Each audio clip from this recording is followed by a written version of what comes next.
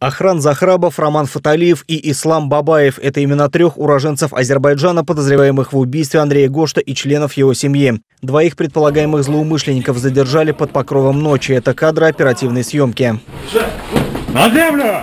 Третьего подозреваемого задержали днем на автобусной остановке. Группа захвата сработала молниеносно, не оставив злоумышленнику ни малейшего шанса.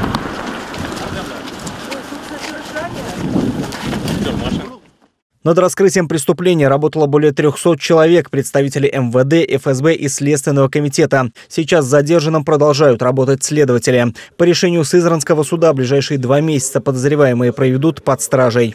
Сделано главное. Преступники изобличены и задержаны.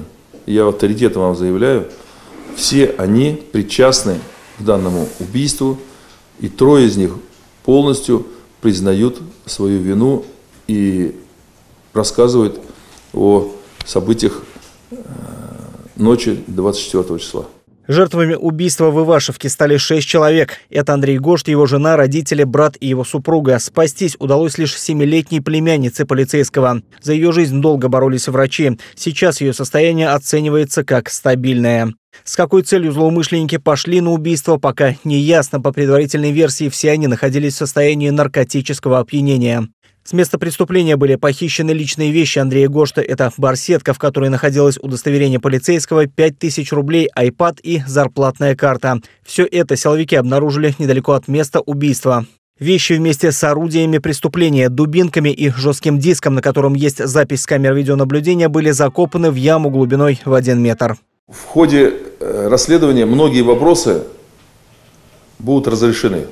На это нужно время – и все обстоятельства совершенные, в том числе и потому, кто как наносил удары, кто кому, все это в ходе расследования при, при назначении огромного количества различных экспертиз, все это будет установлено.